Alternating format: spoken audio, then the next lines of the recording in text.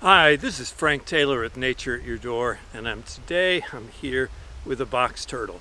Probably America's, or at least the East Coast, most familiar reptile. Probably the one that most people have seen and interacted with, and maybe even America's most lovable reptile. It's the box turtle. Today's episode is everything you need to know about the eastern box turtle. Stay tuned. Right here in your backyard never know what you're going to find.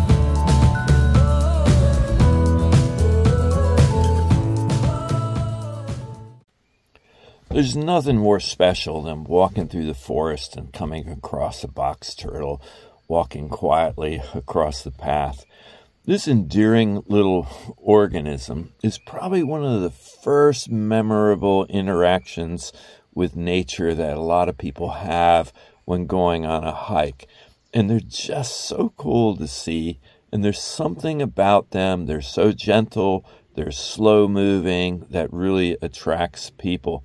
In fact, the box turtle is the state reptile for both Tennessee and North Carolina. So, how do you identify a box turtle and know it's a box turtle for sure? Well, it has a very high domed shell or carapace with a very unique colorful patterns on them and come in various hues of yellow and orange markings. They have a lower hinged plastron, and the plastron on the box turtle is hinged and comes in two parts. The box turtle gets its name box because it can pull its head, legs, and tail completely inside this carapace with the plastron hinged and close itself up completely. Not all turtles can do this. Compare this plastron of a snapping turtle to that of the box turtle. The snapping turtle has a very small plastron, and it's impossible for it to pull its legs and head all the way in and protect it under its shell like the box turtle can do. The shell pattern in a box turtle is also like a fingerprint. It's very unique to each box turtle and you can use this to identify box turtles that might show up in your area. These markings on the shell help camouflage the turtle as it moves around hunting and eating on the forest floor in that dappled sunlight. Box turtles have a hooked jaw with a very distinctive overbite. It has partially webbed feet, and if you look at the rear feet, it has four toes on them. To identify a male from a female box turtle is relatively easy, and there's several things you can look for. On the males, the carapace at the top will flare outwards, and this is less prominent on the female. Males have shorter and thicker curved claws, while females have long and straight claws. The plastron on the males is concave, and the reason for this is the male, when breeding, gets up behind the female, and this provides a spot where the curve of the female shell can fit up against the plastron of the male. In the females, the plastron is generally very flat. And really, I think one of the most distinctive things is to look at their eyes. The males have very red or orange eyes, and they're really brilliant to look at. And the females tend to have browner eyes.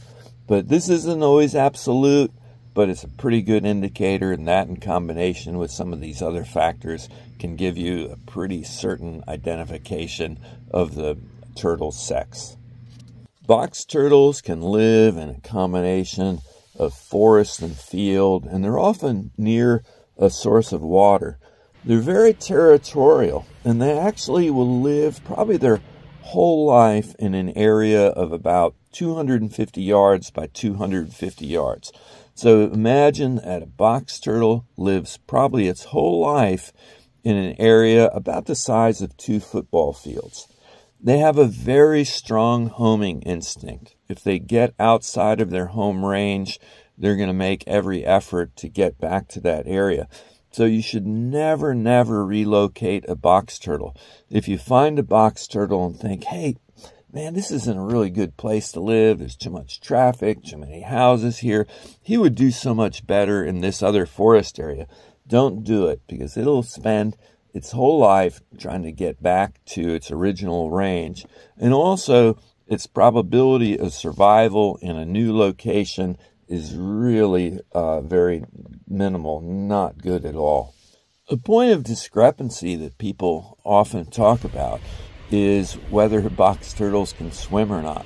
They are truly primarily terrestrial turtles in comparison, for example, to a snapping turtle that spends virtually all its life in the water.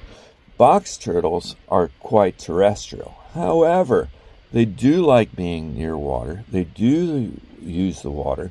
They'll often uh, seek out water or damp places when the summer gets too hot, and they'll often take long soaks in water. They can actually swim.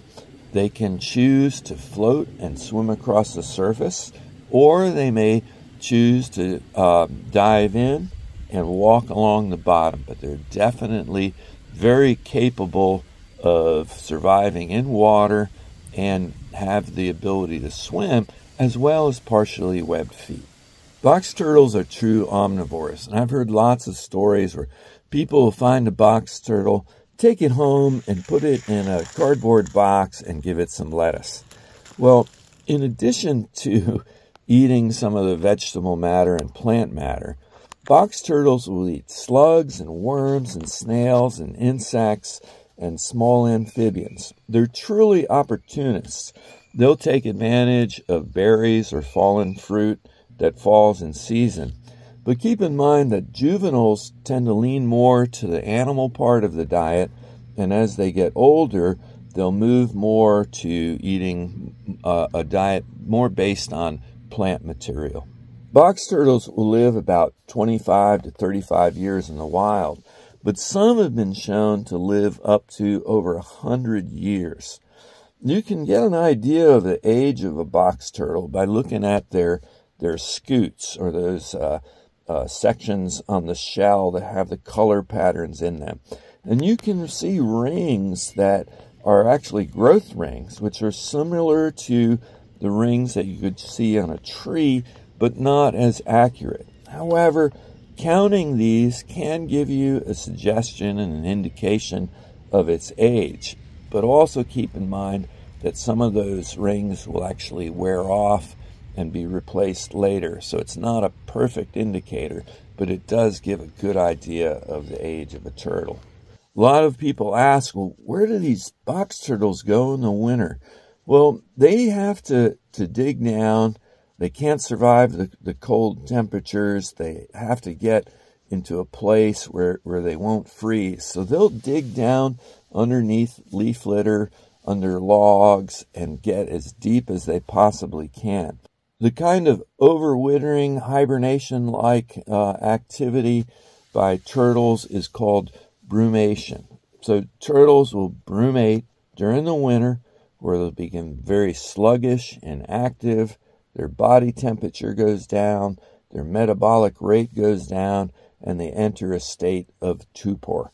And they'll live off stored fat in a very low metabolic rate through the winter, deep in the ground where they can survive freezing temperatures. Box turtles will usually mate and reproduce in the spring. Females will lay two to eight eggs in a clutch usually once per year. Their nest temperature, where they put the eggs, and how warm the soil is where they buried those eggs will influence the sex of the offspring. And it appears that the warmer temperatures will lead to more females being born from those eggs. The colder the temperature, the more males will be born.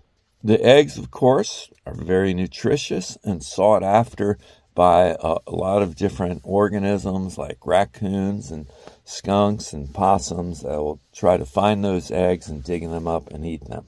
There's a fair amount of predation on box turtles by all sorts of uh, mammals and, and, vertebrates when they're small.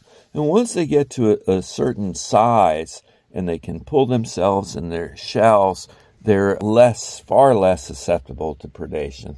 It's fun to watch box turtles move across a variety of uh, environments. They're like little all terrain vehicles moving across and climbing across things. Frequently, you'll see a box turtle crossing the road, and if you do, and you want to stop and you can safely stop without causing a traffic accident or putting yourself at risk, always consider in which direction the box turtle was moving and move him across the road to the side that he was pointing to. So many people see a box turtle and they go, Oh my gosh, can we keep it as a pet? Can we take it at home? And the advice for that is please don't do it. Box turtles are declining in numbers due to uh, habitat loss, due to poaching by the pet trade, and also by collisions with cars and things when they're crossing the roads. So the best thing to do is when you see a box turtle is enjoy the moment, watch him, enjoy seeing him, and let him go on his way. Box turtles that are taken home really are not as easy to keep as pets as people think. They need very specific light and temperature and food and moisture regimes. And also, there's a risk turtles carrying salmonella. So, for that reason, they don't make such great pets. It's actually illegal in almost every state now to take a box turtle out of the environment and keep him. And a lot of people think, well, I'll just keep him and feed him and take care of him for a while and then I'll release him back into the wild. But a lot of times, turtles that are kept in captivity lose some of their abilities to survive in the wild. And it's just never a good idea to take a turtle home as a pet and try to keep it and then release it later. So keep the wild in the wild. Try to overcome that that desire to to take home this cool little turtle and bring him home as a pet is really best for the population, for the ecology, for the reproduction, for the turtle to leave them in the wild. Well, I hope you enjoyed watching this episode of Nature at Your Door with this eastern box turtle. I hope you learned something new today and added to your nature knowledge. And remember, if you like what I do on this channel, please give me a like, subscribe, and leave me a comment. I love hearing from my viewers. And remember, I cover all things nature, from frogs, toads, snakes, turtles, the myriapoda, insects, trees, wildflowers, and fungi. I cover all the things you might encounter just outside your door. So thanks again for watching this episode of Nature at Your Door with the Eastern Box Turtle.